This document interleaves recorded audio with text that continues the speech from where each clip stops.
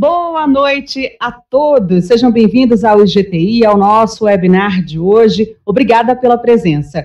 Antes de iniciarmos este webinar, eu gostaria de falar um pouco de apresentar o que é o IGTI.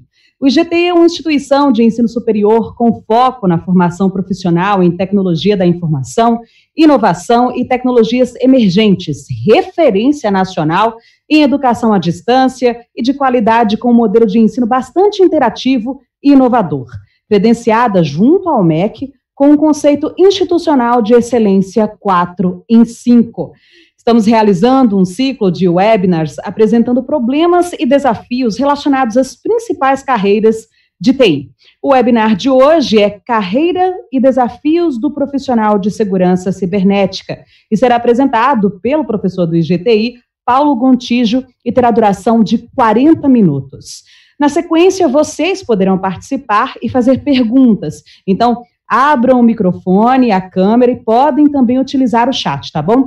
Vocês são os protagonistas desse evento e aqueles que estiverem um pouco mais acanhados podem utilizar, participar pelo fórum, que os nossos monitores estarão aqui prontos para ajudar o professor. Então, vocês que já estão aí, vão comentando no nosso chat, dizendo de onde vocês estão, deixando o nome.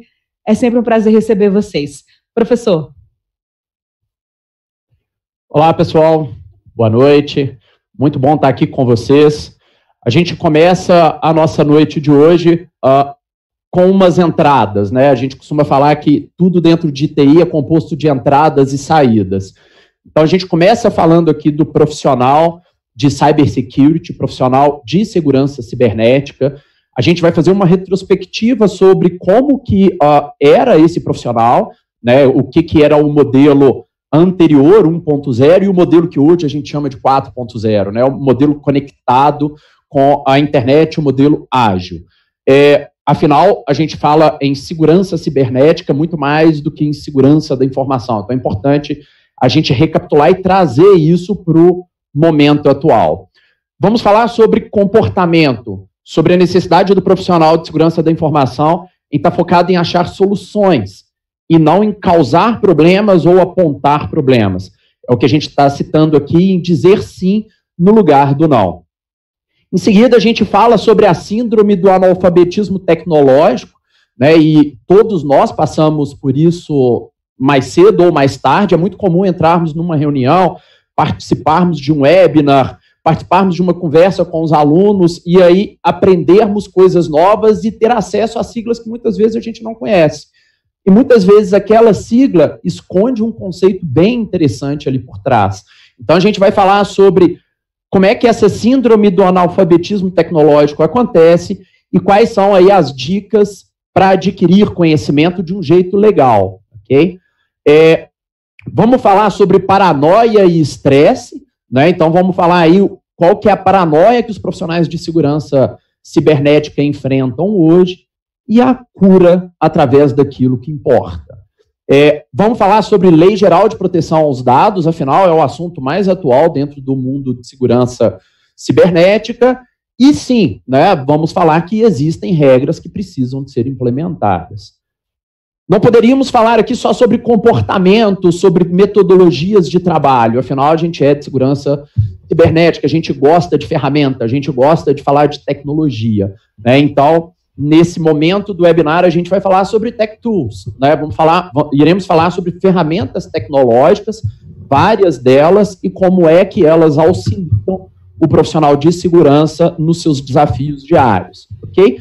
No final, a gente junta tudo isso, cria a figura ali do profissional desejado pelo mercado, e temos ali como output uma lâmpada acesa, uma lâmpada que se destaca frente a todos os profissionais que hoje o mercado busca. Ok? Então, iniciando, o papel do profissional de cybersec. Bem, para que ele vivenciaram um modelo de desenvolvimento de software é, baseado em cascata, né? Afinal, hoje em dia não é nada incomum a gente dizer que existem pessoas que já iniciaram a tua profissão dentro do modelo ágil. Então, quando a gente fala em uh, iniciar pelo modelo cascata, a gente está falando o seguinte: o cliente da área de negócio desenha um requisito. certo? Então ele vai falar lá que ele quer implementar vendas através de cartão de crédito. Em seguida, aquilo cai para uma análise da área de TI, certo? Aquilo vira um projeto que é em seguida codificado. Essa codificação que ocorre pelo time de desenvolvimento de TI é então testada.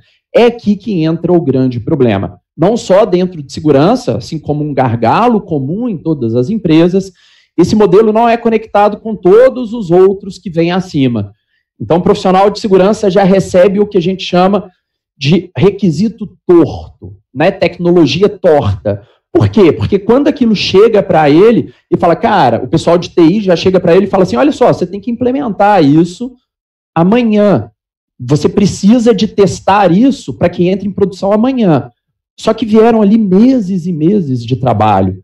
E aí o profissional olha para aquilo, tende a priorizar não necessariamente aquilo que importa para o negócio, roda uma série de testes automatizados, a gente vai falar sobre ferramentas aqui para isso, e aí levanta as mãos para o céu e dá e pede para que nada de errado aconteça, não é assim? Quem é que não vivenciou isso no dia a dia? Isso casado com esse funil que vocês veem do lado direito. Então eu tenho muita gente desenvolvendo uma quantidade razoável de pessoas fazendo ali testes funcionais e uma quantidade pequena de profissionais fazendo teste de segurança. Né? Então, esse é o modelo tradicional. Como é que a gente está vendo hoje? É, a gente está vendo hoje um modelo muito mais ágil, um modelo que entra em campo junto, em que o profissional de segurança está o tempo todo conectado com os requisitos de negócio, com os requisitos de TI, e no momento que aquilo vai para a produção, já não é mais uma surpresa. Já é conhecido desde o início quais são os requisitos do ponto de vista de segurança, quais são os requisitos do ponto de vista do cliente, e aí aquela solução tende a entrar dentro do prazo e com os melhores requisitos possíveis. Né? Então, a figura se afasta desse profissional que aponta o dedo para o erro, né, para um profissional que entra junto do time de desenvolvimento, do time uh, de produto, que joga junto. E isso, gente, por experiência própria, traz para a gente muito mais satisfação, traz para a gente muito mais propósito. Eu costumo dizer que o profissional de segurança da informação, o profissional de segurança cibernética, ele se via meio que afastado como alguém que se via dono de um poder, afinal ele era intitulado alguém que poderia barrar algo a entrar em produção, mas o propósito dele não era conectado ao negócio, era conectado à tua própria razão de existência. Né? Então o profissional falava assim: não, eu, enquanto segurança, tenho que proteger a empresa. Ok, mas ele se afastava do que o negócio precisa de entregar. A gente vai citar aqui dois casos, um da Amazon e outro das urnas eletrônicas, em que o casamento entre segurança e negócio geram bons resultados, ok? Então, modelo ágil, né? Vamos focar em ir para a guerra junto. Né? Se deu um problema, um problema é um problema da equipe, não é um problema de um ou de outro indivíduo, ok? Então, esse é o primeiro ponto do nosso webinar de hoje. O dizer sim em detrimento do não. Bem, uma coisa é fato. Não adianta a gente uh, iniciar a nossa discussão imaginando que as empresas não visam lucro. Né? É, quando a gente fala de empresa privada, o objetivo é o lucro. Então a gente não pode se afastar disso. É, quando eu cito a questão de propósito, é exatamente isso. O profissional de segurança, ele se vê distante do propósito da empresa. Porque muitas vezes ele vê, se vê obrigado a dizer não para algo que vai gerar valor para aquela empresa. Então, eu gosto de citar um exemplo que aconteceu na Amazon. Né? A Amazon, quando implementou o modelo de compra, tudo bem que essa compra de um clique já foi implementada, já tem anos e anos na Amazon, mas aconteceu da seguinte forma: o profissional da área de produto, né, da área de marketing, chega com o requisito, ó, junto com o pessoal da área de TI, e fala o seguinte: olha, pela nossa análise do funil de vendas, a gente entende que 30% dos clientes pulam fora do site da Amazon quando precisam digitar o número do cartão de crédito. Né? Então, isso é muito ruim do ponto de vista é, de venda. E vamos fazer um exercício de empatia aqui. Né? A gente que é de TI exercita pouco empatia. E eu e nós que estamos aqui, que somos da área de segurança, exercitamos menos ainda a questão de empatia. Mas agora vamos nos colocar não como uma pessoa de segurança da informação. Sejamos agora um cliente da Amazon, efetivamente falando. Você está lá, deitado na tua cama, com o Kindle na mão, você está lá navegando pela loja, achou um livro super bacana e falou: Nossa, quero ler esse livro. Na hora que você clica para comprar, ele te pede o número do teu cartão de crédito. Você está numa preguiça, você está deitado, você fala, ah, vou deixar isso para amanhã. Né? E aí, de manhã, quando você está indo para trabalhar, você passa em frente a uma livraria, o livro está na promoção, você compra o livro na hora, tudo bem que ainda físico, mas o que, que aconteceu com a Amazon? Perdeu uma oportunidade de venda. Foi a Amazon que perdeu uma oportunidade de venda ou foi a tua empresa que perdeu uma oportunidade de venda? Esse é o modelo empático que eu tanto friso com os alunos. Quem perdeu não é uma outra pessoa, quem perdeu é a empresa na qual a gente trabalha. Né? Então, segurança da informação não pode ir contra. Né? A gente tem que achar modelos para poder tornar aquela necessidade de negócio possível. Então, voltando ao caso da compra com, com clique, o profissional de marketing entra dentro da sala, temos lá o profissional de desenvolvimento, o cara de banco de dados, o cara de uh, experiência do cliente, todo mundo lá, ah, vamos criar um produto novo que vai acabar ali com uma evasão no funil de venda de mais de 30% e tal, ele começa a explicar. Nisso o cara de segurança começa a suar, frio, né? Depois começa a gotejar, fala: Meu Deus, eu vou ter que armazenar número de cartão de crédito e código CVV do cartão, que é aquele código de três dígitos, no meu banco de dados. Como é que eu vou fazer isso? Aí a, reação natural é: não dá para fazer isso. É importante, pelo menos, pedir o CVV, é importante, pelo menos, X, é, é importante, pelo menos, Y. E aí, a partir daquele momento, o que, que ele está fazendo? Ele está indo contra a um dado do negócio. Vender mais é dar mais facilidade para o cliente. Então, ele não está exercitando o sim antes do não. Ele já está pensando nos problemas que aquilo vai dar. E aí, o que, que tem que ser feito? Liga, o, o, foca no sim. Antecipa o sim, procura solução. Né? E aí, o que, que ele poderia ter feito? Poxa, hoje quem trabalha com, com PCI, né, com, que são as melhores práticas aí para a indústria de pagamentos de cartão de crédito, sabe que existe uma série de normas de criptografia manipulação de dados que endereçam isso bem. Mas, por exemplo, no caso de remessa de compras, no caso da Amazon, uma coisa pode tornar isso ainda mais simples. Se eu for enviar uma mercadoria para a tua casa, suponhamos, uma mercadoria de, sei lá, 5 mil reais, uma televisão de última geração, é, eu poderia, já que é uma compra grande, pedir o teu número de cartão de crédito. Mas por que, que eu não crio um mecanismo do tipo assim, olha, considerando que eu já entreguei para esse mesmo cliente 10 compras no, no, último ano e foi sempre nesse mesmo endereço, por que, que eu não posso simplesmente remeter à televisão? É o mesmo endereço, não mudou o endereço. Então, é isso que eu falo de alterar o mindset. Né? A gente tira o mindset de, nossa, vender com cartão de crédito vai causar um problema, para vamos largar o problema de lado e vamos buscar uma solução para o negócio. Isso é criar empatia, né? isso é tornar possível. Ok? Bem, o próximo exemplo, para a gente não ficar aqui só na questão das empresas privadas. Setor público.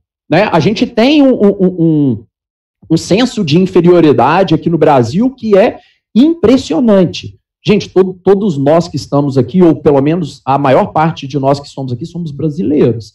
Se a gente não for embaixador de um Brasil melhor, esse Brasil não vai virar melhor só porque a gente não quer. Né? Então é quase que uma aula de psicologia, mas assim, algumas coisas são fato.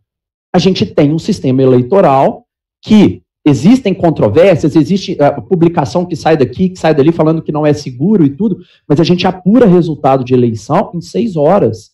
Presidente é definido em seis horas. Né? Os Estados Unidos, para quem lembra aí, ficou apurando dias e dias e mesmo assim contestou a eleição no final dela. É, no, no, governo de Barack Obama, no governo agora. Então, assim, é, aquilo ali é uma conjunção de fatores. Então, alguém falou assim: não, vamos fazer uma, uma eleição digital. E aí você uniu as pessoas em torno de fazer e não em torno de não fazer. Quer ver um outro exemplo? é, internet banking. Esses dias a gente reuniu uma turma de faculdade E aí foi bem interessante, 15 anos de formado e tudo, gente vindo dos mais diversos empresas, empresas pequenas, empresas grandes, startups, empresas referências no mundo e tudo. E um dos colegas nossos trabalha num dos maiores bancos do mundo, lá na Alemanha, e falou, cara, dá vergonha o internet bank da Alemanha. Vergonha.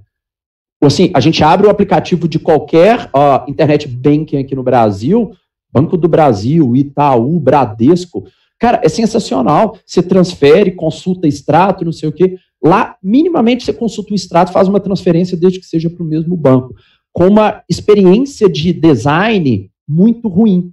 E a gente aqui no Brasil se considera os piores, não, porque se não fosse, se não fosse no Brasil, não seria isso. A gente tem uma das melhores indústrias de detecção e combate à fraude do mundo. Né? E aí a gente fica falando que não, que é assim, que é assado. Então não é.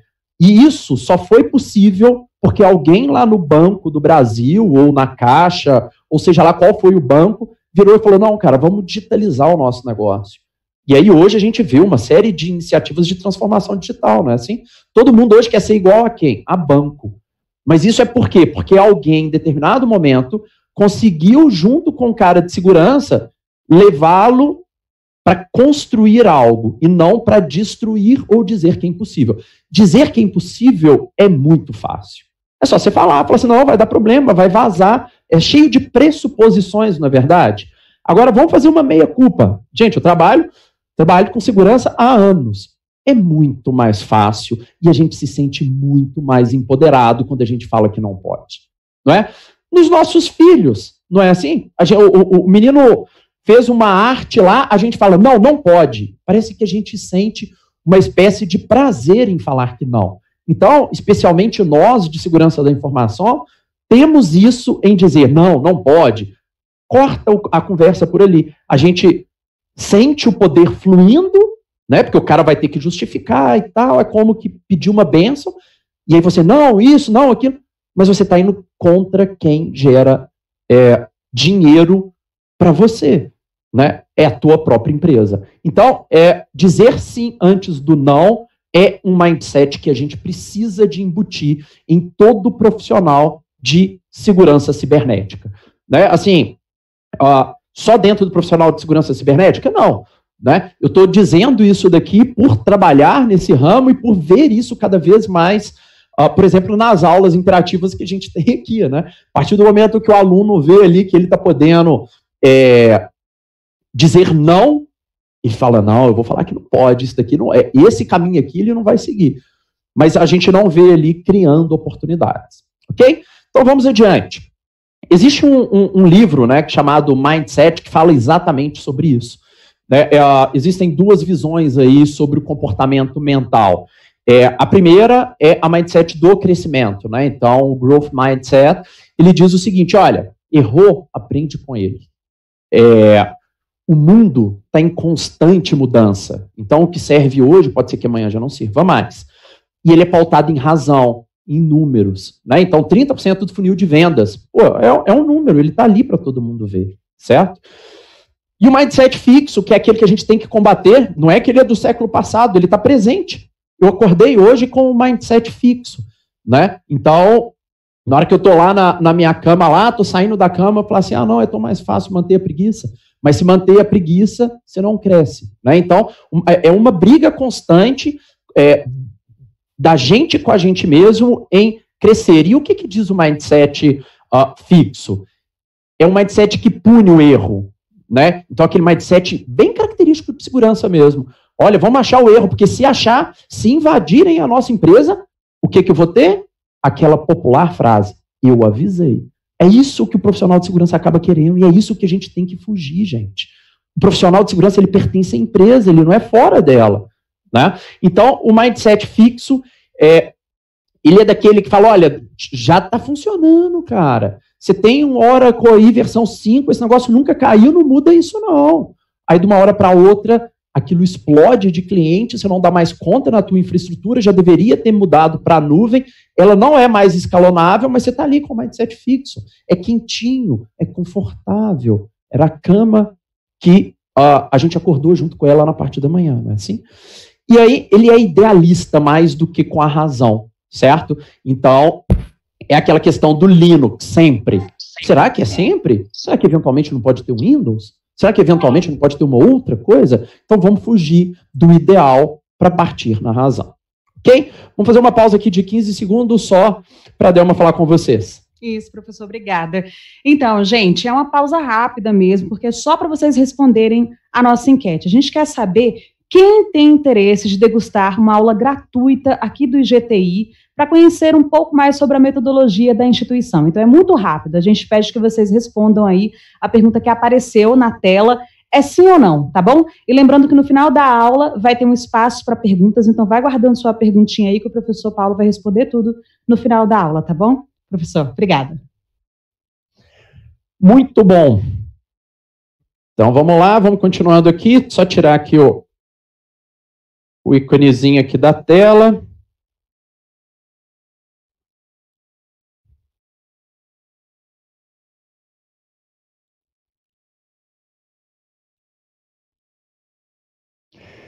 Vamos seguir aqui para a nossa segunda parte do webinar, né?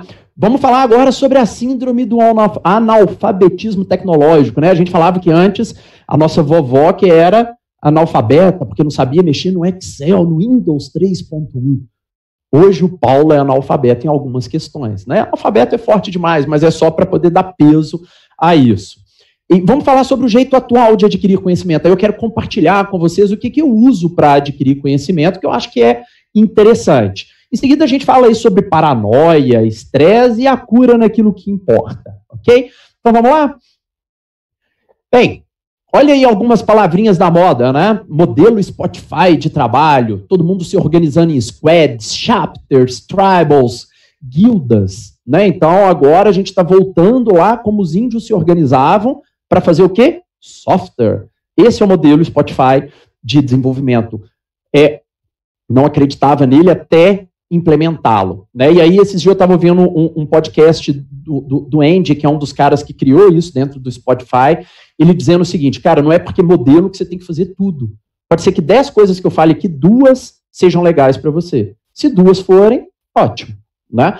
Uh, qual outra coisa que está na moda agora, para quem está trabalhando aí com segurança? DevSecOps, né? Então a gente estava falando só de DevOps, que é o pessoal de desenvolvimento junto com o pessoal de operação. Agora a gente tem que inserir segurança no meio.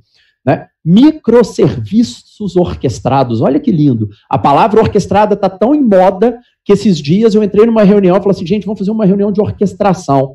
Ela está substituindo alinhamento. Né? Então, olha para você ver como é que as coisas vão e voltam. Estamos todos orquestrados, estamos todos alinhados, coordenados. Né? Mas hoje é, é fato, né? orquestração de microserviços, Kubernetes, não sei o quê. Então, olha o tanto de coisa que aparece num, num, num, no instalar de dedos, né? E aí a gente fica, né, cara? Eu fico conversando com os alunos aqui, ele fala, poxa, mas eu acabei de aprender agora o que é SQL Injection e DDoS, né? Ataque de negação de serviço distribuído. Você acabou de chegar aí com tanto de coisa. Pois é, como é que a gente pensa em adquirir conhecimento, é, não para não ficar para trás, mas para poder saber o que, que é melhor de ser aplicado, né? Aí, gente, eu costumo dizer o seguinte: até há 15 anos atrás, quem podia ser treinado era o diretor da empresa, o presidente, alguns gerentes iam fazer uma faculdade, Harvard, é, iam fazer uma imersão em alguma coisa de tecnologia. Eu lembro, assim, por exemplo, tecnologia de checkpoint, né, que é um firewall super usado aí pelas grandes empresas. A gente tinha que sair do escritório, ficar uma semana num curso fora, era só para um grupo restrito, não sei o quê. Gente, hoje, como é que a gente adquire conhecimento? Está na nossa mão. Né? A gente entra em YouTube, a gente entra em Google, a gente entra em XYZ, a gente troca ideia interativamente. Vocês estão participando de um webinar né? gratuito. Olha a quantidade de coisa que a gente tem esparramada pelo mundo. Então, o acesso à informação, você é capaz de interagir hoje em dia com os caras mais renomados dentro dos campos que atuam. Você sabia que, inclusive, se você entende que, por exemplo, o Apache, né, que é o principal servidor web aí hoje, se você não concorda com, com ele, vai lá, codifica algo, submete à comunidade, algo que vai ser usado pelo mundo todo, você quem desenvolveu, você quem contribuiu. Então, a sociedade hoje é, do conhecimento, ela está muito mais distante daquilo que era permitido só para uns e está muito mais conectada com o que é permitido para todos. Né? Então, é, aí só para efeito de comparação aqui, eu coloquei ali uma moça correndo ali, ouvindo podcast. Isso é um hábito que eu acabei criando. Por incrível que pareça, a gente fala, pô, mas o cara é nerd, né? Experimentem. Cara, tem uns podcasts muito interessantes que você corre rindo, porque os caras vão conversando é, algum tema atual e vão falando ali algumas coisas interessantes. Aqui no IGTI mesmo, tem muito aluno que faz a, a aula, é, assiste às aulas gravadas no painel do carro. Está indo dirigindo para o trabalho, está lá vendo a aula, né, tá ali assimilando conhecimento, está ali parado no trânsito, e aí depois vai assimilar aquele conhecimento com mais calma. Então, olha como é que o conhecimento ele pode estar presente em mais tempo na tua vida. Né?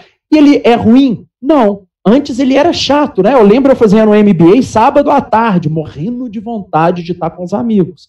Mas eu estava enfurnado numa sala sábado à tarde. Um calorão lá fora e o Paulo estudando lá dentro. Conhecimento antes ele era como? Faseado. Né? Então, primeiro, segundo, terceiro grau, agora você é mestrado, agora você é doutorado, né? e pouco inclusivo. Hoje, eu diria que ele é muito mais legal. Então, assim, para aqueles que gostam de esporte, inclusive pedalar com um fone de ouvido e tal, é até interessante. É, então, ele te permite ter essas interações. O aprendizado ele é continuado. E aí, gente, é que eu, eu costumo falar com os alunos, tem que ser divertido. Você tem que gostar de adquirir conhecimento. Só que note que o conhecimento aqui, muitas vezes, não é aquele conhecimento matemático, não é aquele conhecimento de uh, você acabou de sair de uma, de uma aula de matemática, você vai lá e tem que praticar a equação. Cara, se você está ali, por exemplo, fazendo uma caminhada de uma hora, pega um podcast e vai ouvir sobre culinária. É, é, é impressionante, mas, por exemplo, Masterchef nos ensina muita lição sobre liderança. Né? Às vezes é um beat que você liga lá, que você fala, nó, vou é, aplicar isso no meu dia a dia. Né? Assim, é, já é sabido que aqueles profissionais que mais geram conhecimento dentro da empresa Gostam não é só de tecnologia. Gostam de tecnologia, gostam de culinária, gostam de esporte, gostam de ciência, de astronomia, porque acaba pincelando alguma coisinha daquela que é aplicado no teu dia a dia, tá? E obviamente hoje ele é muito mais inclusivo, certo?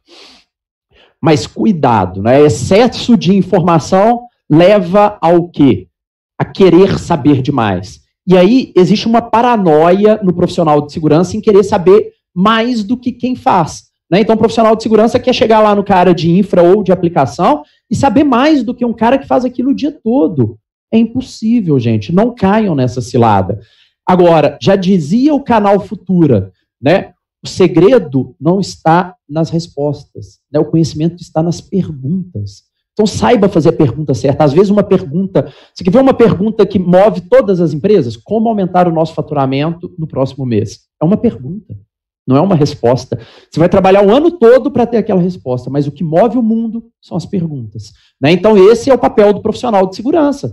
Chegar para o cara e fazer a pergunta, tirar ele da zona de conforto. Né? Outra coisa, não pensa em proteger tudo, meu querido profissional de segurança, porque é impossível proteger tudo.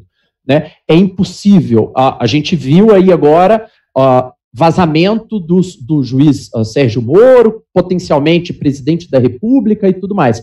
É possível proteger o celular de todo mundo? Não, não é. Né? Então, isso é uma questão que aconteceu. Guardado aqui as devidas análises, né? não vamos entrar aqui no, no, nos motivos da, do que está aí, mas só trazendo um, um acontecimento recente para mostrar que nem tudo é protegido. Você tem que proteger por camadas. E um descuido na proteção, por exemplo, de alguém que deveria ter uma segurança mais high level, levou ao que está levando atualmente. Né? Outra coisa, nem tudo é grave e urgente. Né? Se você não souber priorizar, você vai perder foco. E, gente, algum dia, alguma coisa grande vai falhar. O WhatsApp saiu do ar há duas semanas atrás. Você não conseguia mandar nem foto, nem vídeo. Né? Então, é ou não é grande? Então, você tem que estar preparado para aquilo. Né? O Netflix utiliza hoje o que eles chamam de injeção de caos. Então, eles literalmente derrubam 30% das máquinas e veem o que, que acontece. E aí, a Amazon, a AWS, há cerca de seis Sim. anos, sete anos atrás, quando caiu uma, um percentual de máquinas significativo, a Netflix não caiu, continuou operando. porque tinha injetado caos na infraestrutura deles. Ok? Uh, portanto, gente, foco. Ah, professor, mas tudo na minha empresa é prioridade. Ok, é uma questão de saber administrar e saber qual caminho você quer trilhar. Uma indústria farmacêutica é muito preocupada com confidencialidade. Né? Então, se as suas ações estão se distanciando muito daquilo, pode ser, que, pode ser um indício de que você está indo no caminho errado. Né? Prestadores de serviço de telecom, por exemplo, têm alto foco em disponibilidade. Né? A indústria de meio de pagamento tem alto foco em integridade. Não dá para você ficar criando dinheiro uh, numa conta, por exemplo, e retirando em outra aleatoriamente. Isso não existe. Concordo? Ah. Bem, Passando aqui agora para a última parte do nosso webinar, vamos falar aqui sobre a Lei Geral de Proteção de Dados, que é uma coisa que já está aí premente, que as empresas já precisam de se adaptar. Vamos falar aqui sobre as ferramentas técnicas, e aí eu vou dar aqui dicas aqui, keywords para vocês utilizarem. Depois a gente junta serra. Ok? Muito bem.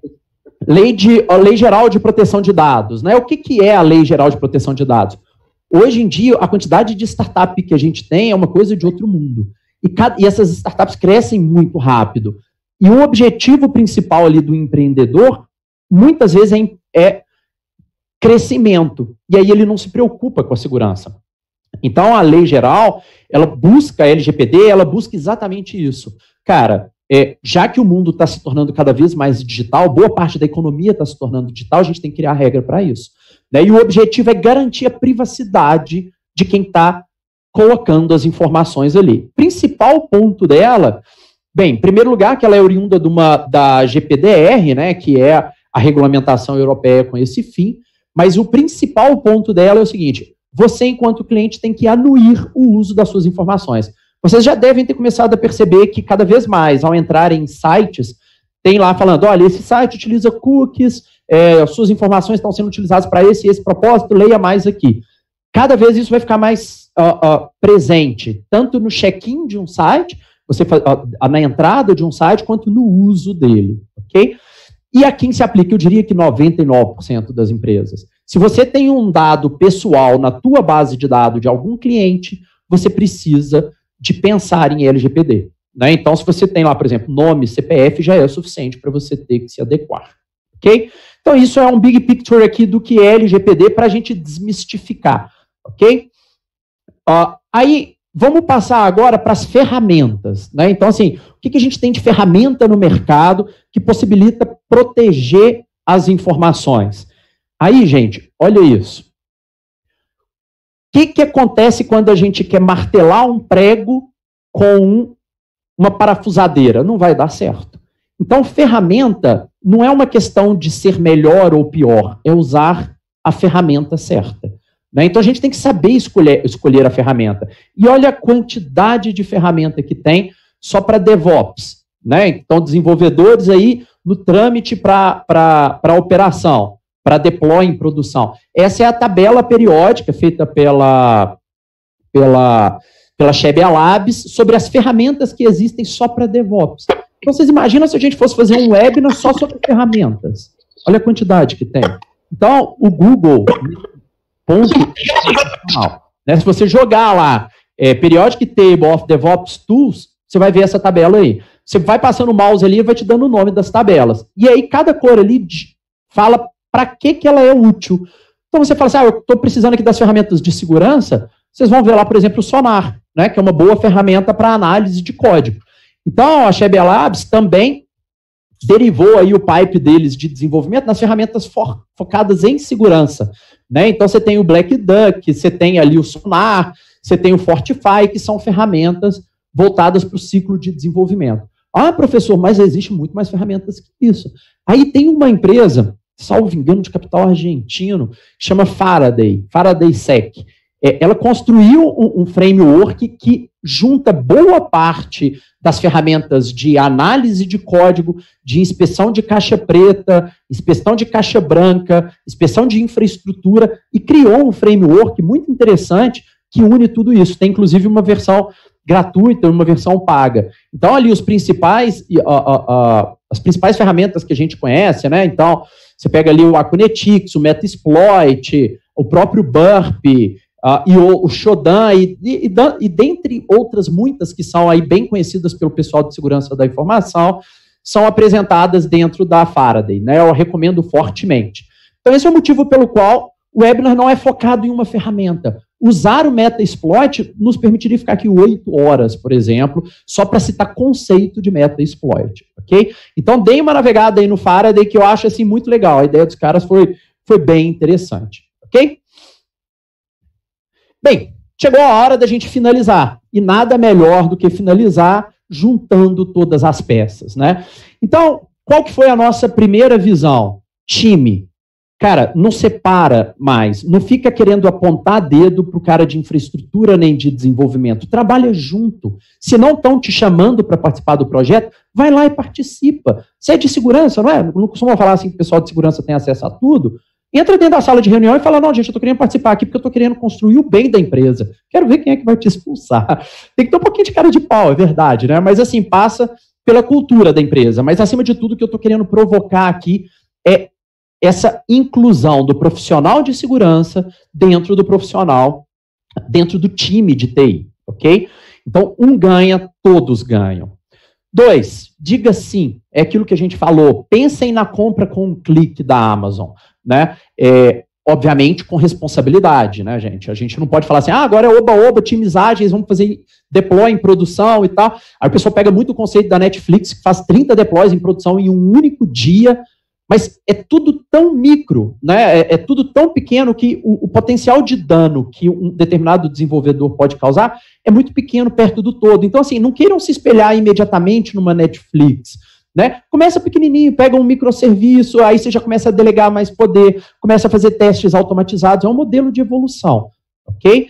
Mas, acima de tudo, trabalhem com achar soluções e não problemas, com responsabilidade. Por isso, a LGPD.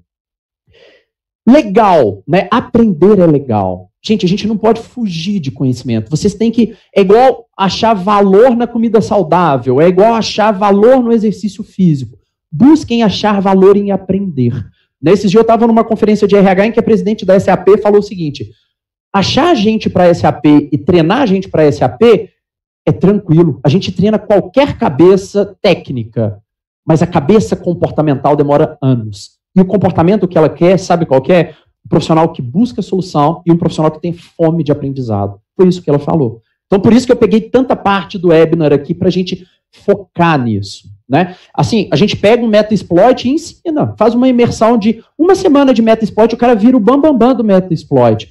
Mas, cara, ensinar aquele mesmo profissional a olhar um desafio do negócio como uma oportunidade em detrimento de um problema, muitas vezes eu demorei, eu acho que dois anos e quase uma ameaça de demissão para poder aprender isso. Né? Então está na nossa cultura, está arraigado, é difícil de mudar. Foco. Né? A nossa outra lição que a gente aprendeu aqui é foco, nem tudo é prioridade. Se você priorizar tudo, você não vai proteger nada. Então, identifique o que é prioritário naquele momento e foque naquilo. Né? Então, assim, o Agile hoje tem muito isso, né? Vamos fazer um pedacinho pequenininho, vamos atuar. Vamos fazer um pedacinho pequenininho, vamos atuar. Por que, que não pode ser assim segurança? Vamos ter foco. Né? E, por fim, ferramentas. Né? A gente falou aqui, existem dezenas de ferramentas, mas é necessário que você use apenas as que cumprem aquele propósito. Ok? Bem, a carreira são vocês quem vão escolher. A carreira em SI, a carreira em segurança da informação, segurança cibernética, passa por um gestor, um consultor, um hacker ético, alguém que pode ter a tua própria empresa de consultoria, um auditor ou, eventualmente, um profissional de TI, um profissional de desenvolvimento de software que quer ter conhecimentos em segurança para entregar boas soluções. Né? É aí que o GTI entra para poder fazer essa ponte com vocês. Né? Na hora que a gente olha após do IGTI, a gente tem aí mais de 85% de satisfação, 93% de retenção e 100% de interatividade. E o que é melhor, a gente está aqui o tempo todo experimentando e tendo feedback dos alunos. Então, o curso de segurança da informação que existia há seis anos atrás e que tinha 80%, por exemplo, de governança, pelo feedback dos alunos, a gente foi trazendo esse curso para algo muito mais prático. Então, hoje o aluno vai para uma aula, por exemplo, de ethical hacking, que é uma das aulas que tem dentro de segurança, e efetivamente bota a mão no meta-exploit. Mas ele não pode ficar só no técnico, ele tem que ter visão do todo. Então, tem uma aula de ISO 27001, ISO 27002 e um modelo de aplicação daquilo na governança. Bem, pessoal, espero ter aí oferecido conhecimento que agregue valor e que os faça refletir sobre o quão importante é a segurança cibernética no dia a dia de vocês. Voltamos aqui agora com a Delma. Né? Isso, professor Paulo, aula maravilhosa, né, gente? O professor vai continuar aqui, porque agora, como a gente prometeu, a gente vai começar a fase de perguntas, tá bom, gente?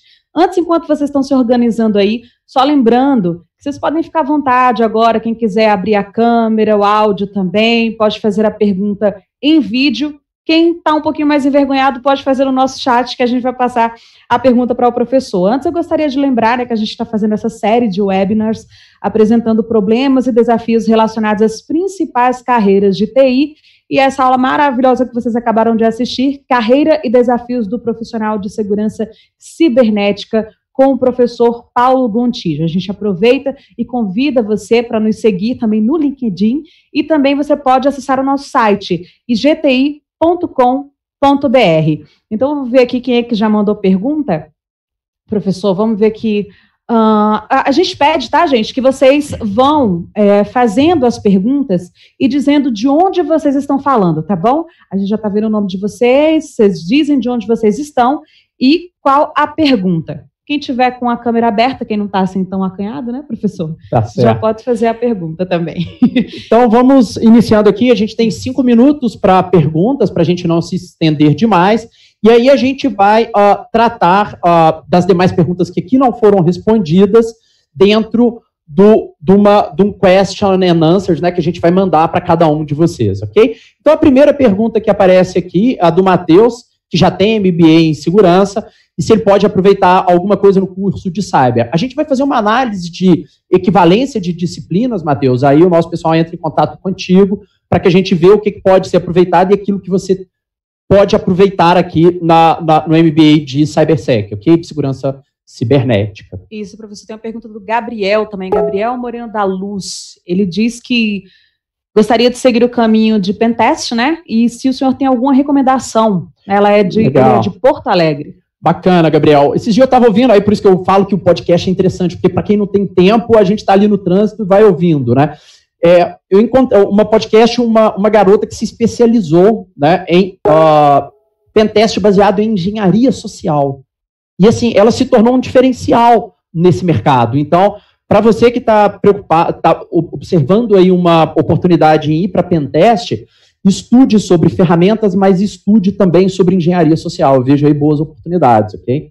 Professor, o André, o André Luiz Sacramento, ele quer saber, né, se tem, qual, qual que é o inicial para entrar na área de cibersegurança? Eu diria, André, que, acima de tudo, você precisa de ter vontade de aprender, né? Então, ó, você começa, se você é de desenvolvimento, começa fazendo um pedaço de código seguro, envolvendo a equipe. Se você é de infra, pegando alguma ferramenta de automação de pentest, por exemplo, e aí você já vai dando um passo, não sendo da tua área, mas um passo para a área de segurança cibernética. E aí, conhece, obtendo conhecimento através do que a gente falou aqui hoje, você vai adquirindo mais e mais conhecimentos e chegando cada vez mais próximo da área efetivamente de segurança cibernética. Professor, uma pergunta bacana do Diego Marcos, porque tem a ver com aquela sua recomendação de ter um pouco de cara de pau, assim, de ter sim, ousadia. Sim. Ele faz a pergunta quais caminhos que se deve adotar para iniciar uma conversa franca sobre, cyber, sobre cibersegurança em uma empresa onde o ramo não é tecnologia.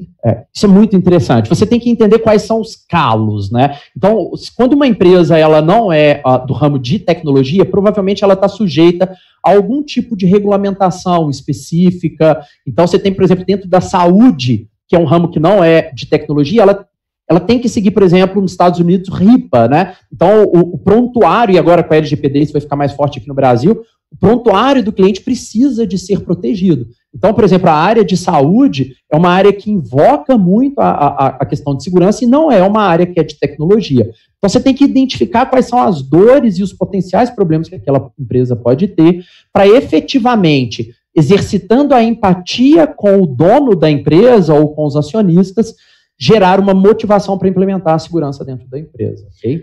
O William, o professor, está perguntando, está dizendo que a empresa dele vende fogões e como vender, né? Um desafio. Isso, exatamente, para um quem desafio. focou nisso, né? Essa Legal, ideia. da Possivelmente, William, a gente está falando aqui de segurança em nota fiscal eletrônica. Não sei, eu teria que entender os desafios da tua empresa para ser algo mais efetivo, não generalista, né? Então, algo que é, traga valor para o teu dono, né? O que, que traz valor para o teu dono? É, por exemplo, o caminhão não chegar com a carga de fogões e aí ele não conseguir vender. Então, o sistema de emissão de nota fiscal eletrônica, por exemplo, pode ser um gargalo. E aí você tem que centrar todos os esforços ali. É por isso que eu costumo dizer, na minha, nas minhas aulas eu não dou exemplo da indústria de fogões, mas da indústria de pneus, né? Que o maior problema é logístico.